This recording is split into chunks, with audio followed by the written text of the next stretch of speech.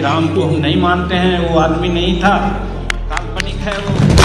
और वही पर करके दोस्तों हिंदुस्तान आवाम पार्टी मोर्चा के नेता जीतन राम मांझी, जो आज बीजेपी के साथ गठबंधन करके बिहार में सरकार बनाए हुए हैं, और जीतन राम मांझी के द्वारा भगवान प्रभु श्री राम को काल्पनिक बताने का यह वीडियो अब सोशल मीडिया में बीजेपी के हिंदुत्व और प्रधानमंत्री मोदी के हिंदुत्व पर भी सवाल खड़े कर रहा है, क्योंकि यह जीतन राम मांझी बीजेपी के साथ गठबंधन करके बिहार में अपनी सरकार चला रहे हैं। वीडियो में आप सुन सकते हैं जीतन राम मांझी, कैसे भगवान प्रभु श्री राम को काल्पनिक और भगवान प्रभु श्री राम भगवान नहीं हैं, ऐसा कहते हुए सुने जा सकते हैं। आइए दोस्तों, वीडियो को आगे देखते हैं।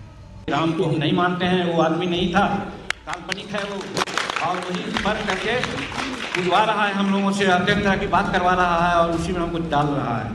तो यही आस्था है। आस्था तो किसी को जमी मूर्ति पूजते हैं पीढ़ी पूजते हैं, हम लोग देवता पूजते हैं, आस्था वो है।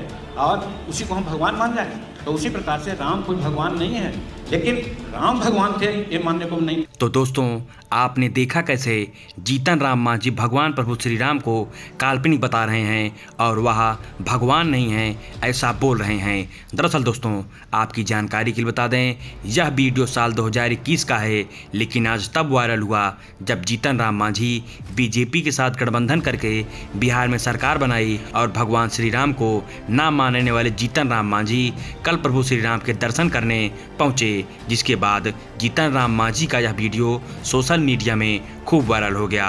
दोस्तों, फ़ोटो में आप गौर करें तो जीतन राम मांझी भगवान प्रभु श्री राम के मंदिर के अंदर तो गए, लेकिन श्री राम के पास भी नहीं पहुँच पाए, जिसके बाद तमाम सोशल मीडिया यूज़र्स प्रधानमंत्री मोदी और जीतन राम मांझी पर जमकर तंज कस रहे हैं।